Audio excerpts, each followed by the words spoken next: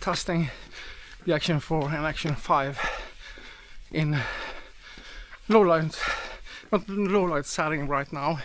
It's a normal setting. I just want to see how the cameras perform. I did a test with the Ace Pro and Action 5 Pro in low light and it was difficult to pick a winner but this is more or less identical, identical cameras there are some hardware updates on the 5 Pro. Can you see the difference? Exactly the same setting no low light settings. So it's gonna be fun to see if there is a difference. I'm gonna run today as I did the other day. I don't think I can do 11k today maybe 8 I've been running four days straight now so yeah you need a rest day but we're gonna test it first in normal mode and then switch to the low light settings on both camera because I think it's important now to see if the 5 Pro actually is an update we all know that DJI has a couple of things to fix on this 5 Pro. So is it uh, is it needed to upgrade? I don't know. You tell me. But this is low light. The only thing I really like on the 5 Pro is the screen. That's it. It's more or less exactly the same camera with some tweaking. Let's keep running. We are 2k now. We have some left. Shake, your body. Gonna do about it? Shake. Oh, oh. What we gonna do about it? Shake, your body. What we gonna do about it? Shake,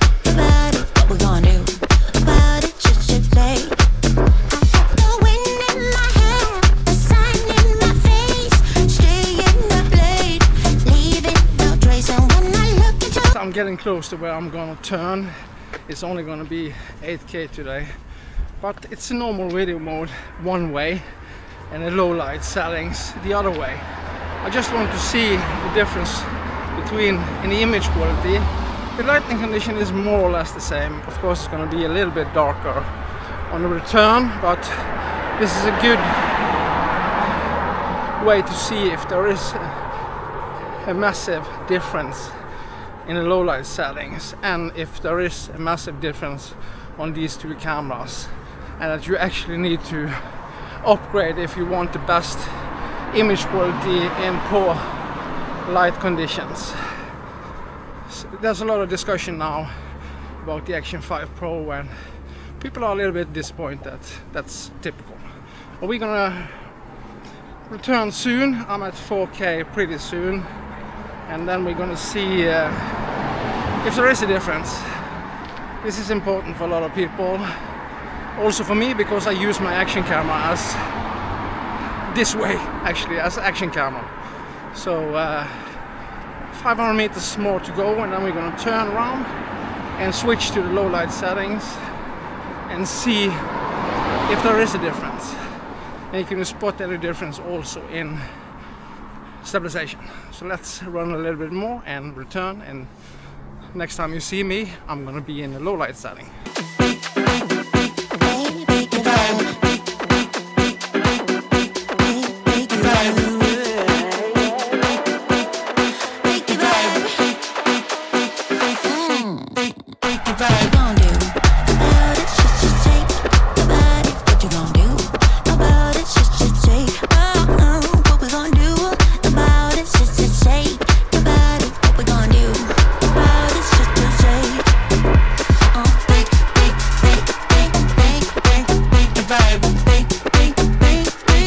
Switch now to low light mode on both cameras. You have a dedicated super night mode on the Action 5 Pro and low light enhancement on the Action 4. So can you see a difference? We are at the same spot as we was before in normal video mode so I'm gonna put the, the video side by side so you can check it out. But there's so much discussion now about the low light modes on action cameras and is it really necessary? Do you actually need it? Is the action camera meant for this? And I do understand that people think so because like some of my friends on YouTube say, it's meant for action and sport and activities, not only in daylight. But there are limitations on action camera, and that's due to the size of the cameras and what's possible to put in them. And it seems to me like people are expecting maybe too much. Uh, but it's fun to see companies pushing the limit on what's possible on small action cameras and if it's actually possible to tweak them anymore. Um, GoPro seems to be out of the dance now. They don't deliver at all. Of course, in bright daylight it looks really good, but in situation like this, it's not possible to use a GoPro. So people have been asking me to do a low light comparison with the Action 5 Pro. I'm gonna do it, but it's I don't see the point actually because it's it's crap. It's not possible to see yourself even even in lighting conditions like this. And again, I'm shooting in all auto. People are saying to me, you need to tweak the camera, so and so. But for me, I just want to show people that this is what you get when you're using the modes and the presets that are in the camera. Because over 90% of all people are going to use the cameras in this way. So that's why I need mean that the camera needs to be adjusted for everybody so it's just to press record. And that's actually the point with an action camera. Just hit record and capture the moment.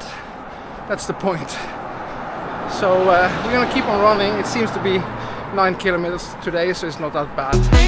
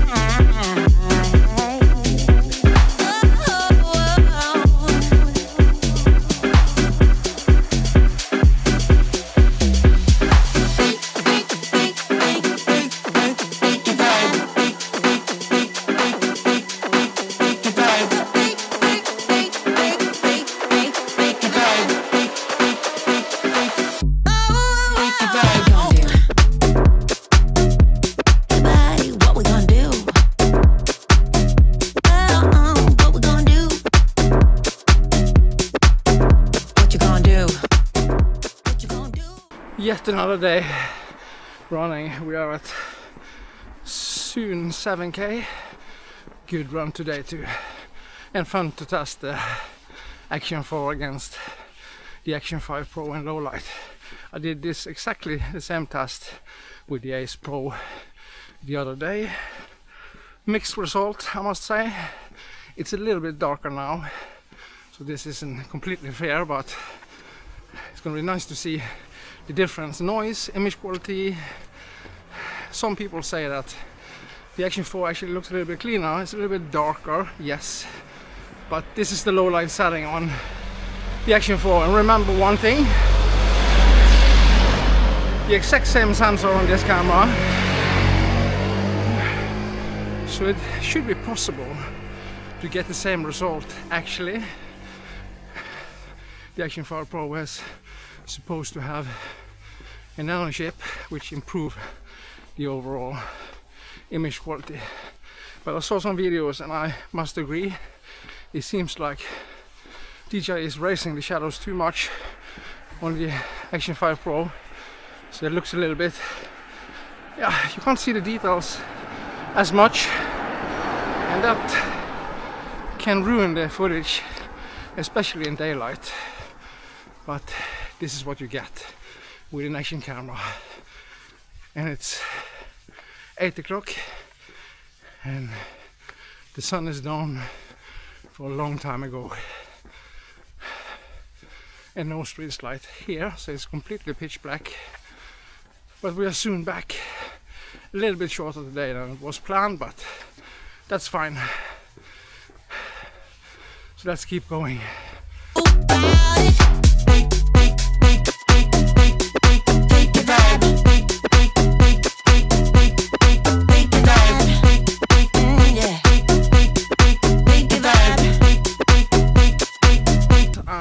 we're gonna wrap it up. It's way too dark, but low light mode again on both camera.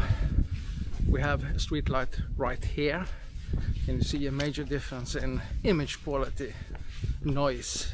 Do the Action 5 Pro look way too sharp and strange and artificial and all of that? Does the Action 4 looks cleaner, darker, yes, but cleaner image?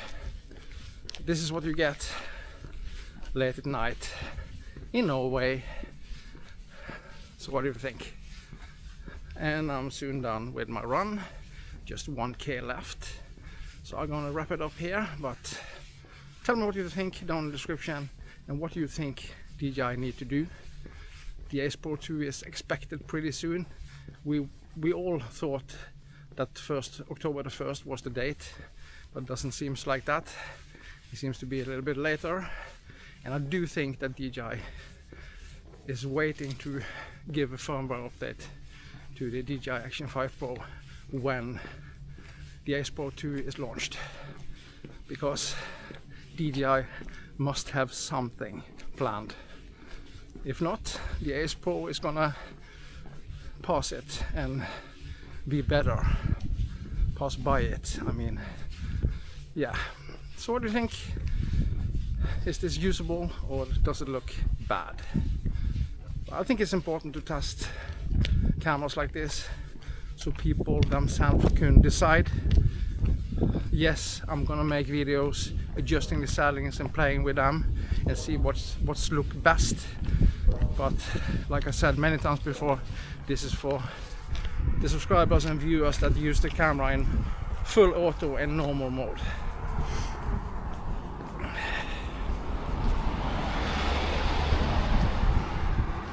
it's pretty dangerous to run here as you probably can see. But I've been training really good lately. It's so good to be back again. So uh, why not give me a thumb up and subscribe and tell me what you think about the Action 4 and the Action 5 Pro. The battery life on the Action 5 Pro is insane. It's so good. Yeah as always I see you on the next one Bye.